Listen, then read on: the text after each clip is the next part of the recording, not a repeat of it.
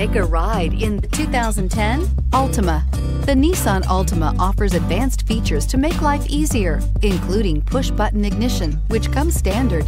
Combine that with a powerful V6 or efficient four-cylinder engine, six standard airbags, and over 5,000 quality and performance tests, and you'll see the Nissan Altima is made to drive and built to last. This vehicle has less than 95,000 miles. Here are some of this vehicle's great options. Traction control, stability control, cruise control, power door locks, trip computer, electronic brake force distribution, overhead console, tachometer. Your new ride is just a phone call away.